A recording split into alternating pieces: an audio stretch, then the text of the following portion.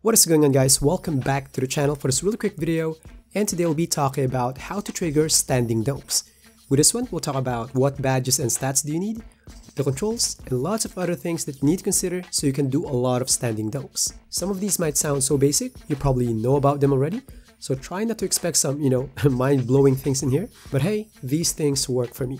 So now let's get right into it.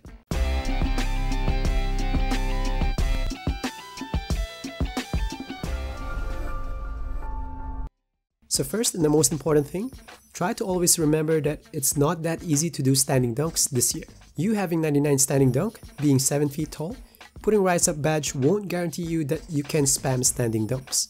You need to learn some things first to make it work. So don't get frustrated if you invest on all those stats and badges and yet you can't do a standing dunk.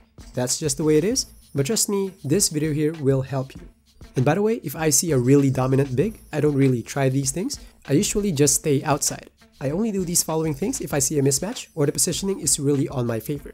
So try not to force it, especially if you're against a defensive big. So now for the first tip, the badges. So for the badges, I think the two most important here are Rise Up and Fast Twitch.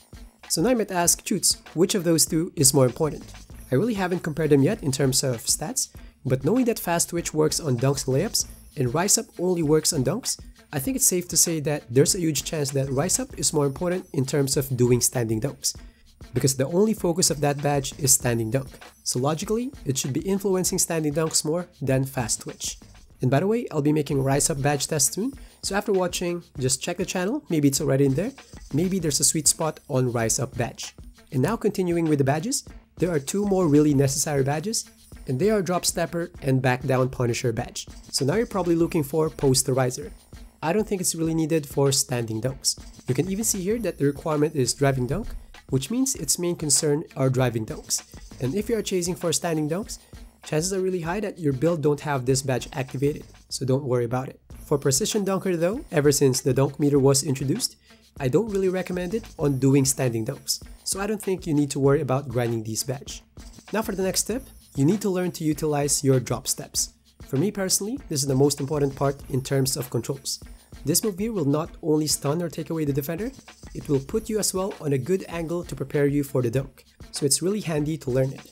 To be honest, there's not much skill gap in this move, the moment you learned how to angle those drop steps, you'll be fine.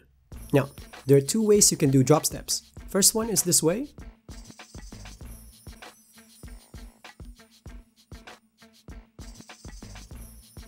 and the other one is this way.